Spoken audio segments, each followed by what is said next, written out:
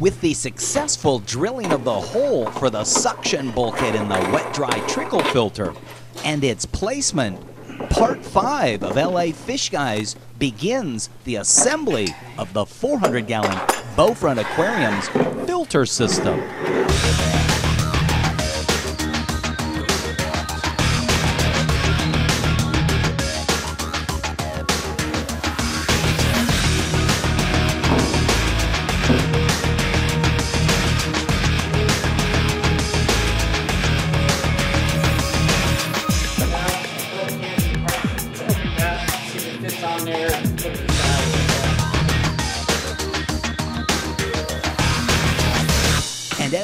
Mentioned, part five encompasses the installation of the aquarium's filter system.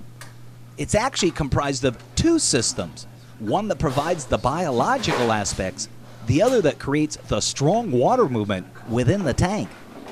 Both systems have additional equipment such as UV sterilization and refrigeration, as well as mechanical filtration. Part of the art of incorporating everything is to do so with access and serviceability in mind. Well, um, actually, what Are I would like, before you get here? too much further, yeah, we should probably consider cutting this in half. What I'd like is for you to redo that whole length of pipe. Uh, The goal is have this as close to the bottom as possible. That way, if you have to remove it, you're removing the minimum amount of, as possible. Now, if that's gonna screw you up as far as the amount of PVC pipe you have left, No. then don't do it. But do you understand what I'm saying? So if we were to take out that pipe or that pump, I've got that all to take with it. Does that make sense to you? The closer the union fitting is to the pump, the less extra tubing I need to deal with if I ever have to remove that water pump. And, and, and this is very important, when you are um, gluing all of this in, turn, consciously make it a point to know where the printing on the pipe is. I don't want to see any printing. You're going to consciously make it a point to turn that pipe, twist that pipe so you don't see the lines. Again, plumbing is art, and I, I don't Yeah. want to see the printing. Okay. Um, if you're okay with that valve as it is, that's fine. It's just my thinking is you want to have it as close to the pump as possible. That way, when you separate it, you're removing the minimum amount as, of, of plumbing as possible. As Condi works on the plumbing system that will create the internal circulation of 4,500 gallons an hour, we'll simultaneously begin to prepare to place the canopy on top of the tank. This will be the crowning touch. With the LED strip lights temporarily placed inside the overflow, we'll begin to unwrap the canopy and bring it inside. The canopy, just like the stand, has a midband that incorporates an inlaid metallic laminate. The canopy lid is assisted by expanding shock absorbers to help make lifting it up much easier. So we've lifted the canopy up in place. You can see it's got that metallic trim on it as well. And it really looks sharp. It, it balances out the whole unit.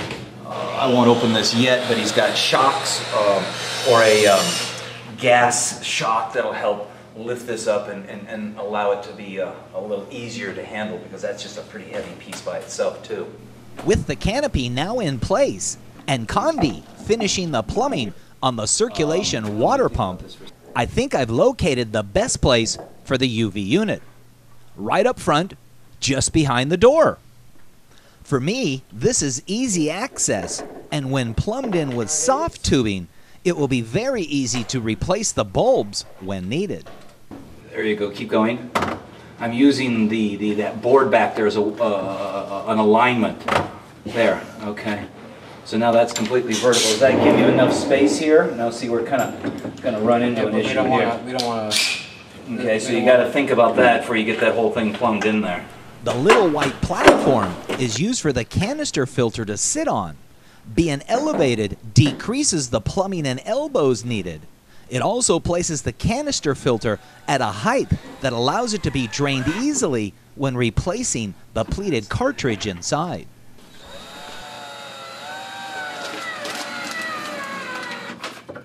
These C-clips that I'm installing will hold the UV unit. This will easily unclip so as to allow me to remove the unit when needed.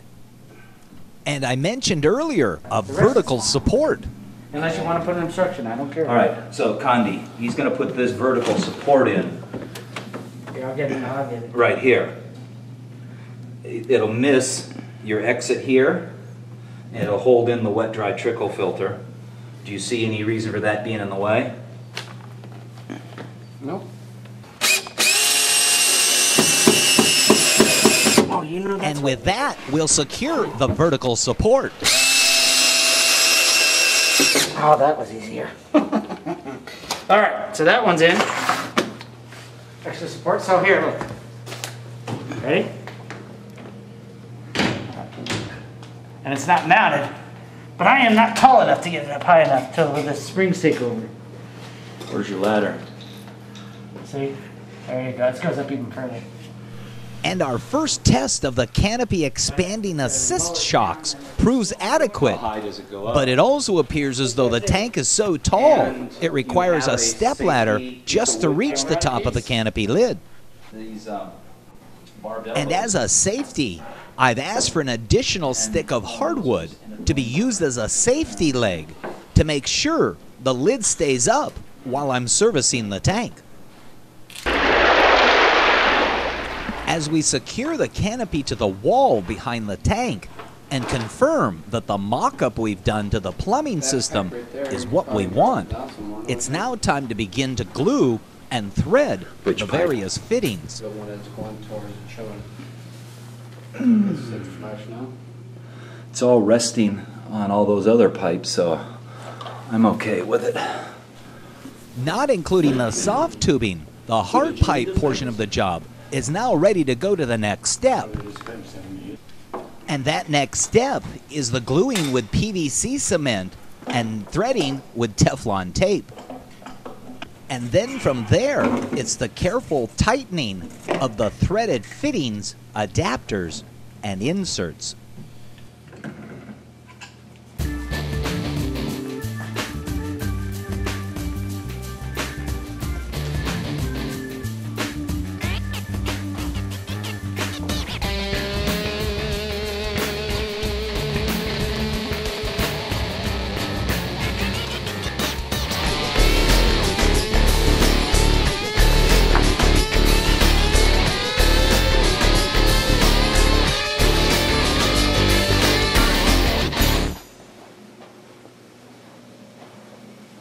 Hi there, my name's Jim Stime, and you know me as the LA Fish Guy. Well, I also wear a couple of other hats. One of them is the jellyfish tank called the Jelly Aquarium, and the third is myfishtank.com.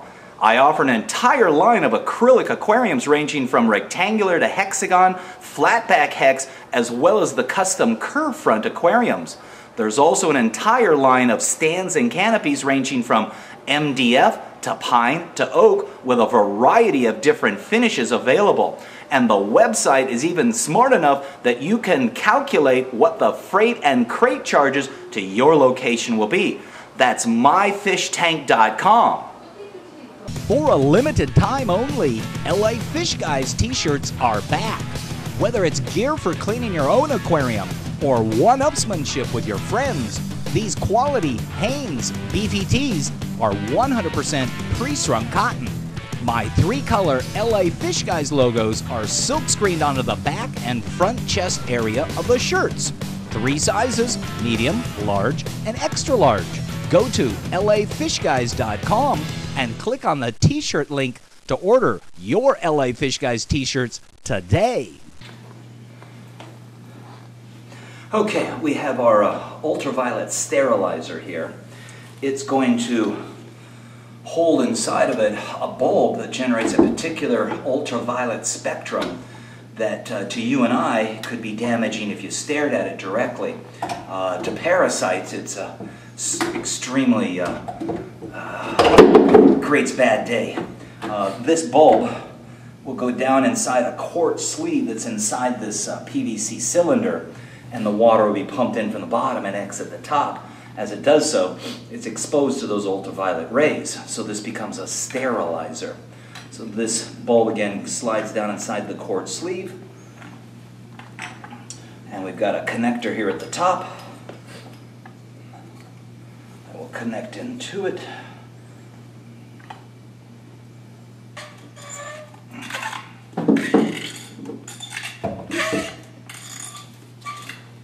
If you then we've tightened it too much. Snug. Should be good. And then this has a couple of uh, C clamps here that hold this whole unit in place. Again, water comes in at the bottom, exits the top. If you were to hook up the input at the top, there will always be an air bubble in here that you'll never ever get rid of. So again, water comes in at the bottom, exits out at the top. While I'm not the biggest proponent of ultraviolet sterilizers, a system this large, it would be a mistake not to incorporate it into. And it's easy access. We'll have flexible tubing on both inlet and outlet, which will allow us to remove this at a later time for replacing the bulb. Because in my opinion, the replacement of the bulb is the biggest pain in the ass with sterilizer units, namely because if you hard pipe this into place or don't allow yourself the ability to remove it later on, it becomes quite awkward and difficult to remove the unit. And when things are difficult and awkward, they tend to not get taken care of. So we want to take care of that and we want to make sure that it's easy uh, and accessible. And as we finish assembling the filter system, we progress to working on the lighting system and adding the plug-ins to the water pumps. And Rick is uh, mounting the uh, plug end for the Iwaki pump. And Greg and Condi are starting to mount the LED strip lights. Got a total of eight of them that we need to place up on the underside of the canopy. And I think we've got them equally spaced. There'll be three rows, two rows of three each strips, and then the front one will be a row of two strips because it's a bow front tank. And here's the first one. Uh, as I mentioned, these are the AquaRay LEDs. Um, they're the combo version. They are a combination of white and blue, all eight of them. I didn't see any need in a fish-only tank to have a set of whites and a set of blues, uh, so the combo works well for me. LED lighting being the current trend in aquarium keeping, we selected the AquaRay brand LEDs. These are available in a strip light or a square pod configuration. Included is the AquaRay controller. This controller is a two channel system, and both channels offer increase and decrease or a dimming feature. And as I lower the canopy lid, it appears as though we have the LED strip lights spaced evenly across the top of the aquarium, as the light landing on the bottom of the tank seems equally spread out as well. We're at the point where we need to consider putting the rock and the gravel in the tank. Uh, I'm going to start with the rock because that can sit at the bottom of the tank, have a firm footing. Uh, the idea is there's two types of stone out there. One is called kind of driftwood rock. It has a series of uh, layers in it. Um, and then the other one is kind of a flagstone, real flat pieces. So we're going to use the, uh, the driftwood rock to build what I call the table legs that'll elevate up and then we're going to place those flat flagstone pieces over the top of it, kind of create um, tables and legs for lack of a better description. Ultimately it's a series of caves, but I could see uh, a, a pillar of rock there, a pillar of rock, a pillar of rock, and a pillar of rock with a series of bridges across them and maybe a couple more pieces on there. All of that's the foundation for placing the decorative corals on top of. But once we've got that rock in there, we can then bring the gravel and put it in. At that point, I think other than uh, finishing the electrical down on the cabinet down here, uh, we're actually ready to start pouring water in there. So make it a point to come on back for the next part and see how we progress. And especially if there's going to be any leaks, you want to see if that happens as well.